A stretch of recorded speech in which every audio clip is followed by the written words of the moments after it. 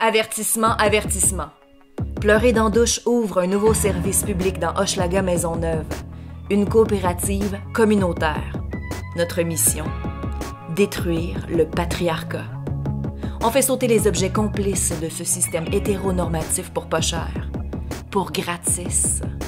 On a rassemblé toute la puissance des secteurs industriels, manuels, émotionnels, intellectuels et matrimoniaux. Une escouade qui n'a pas peur de la grosse job sale.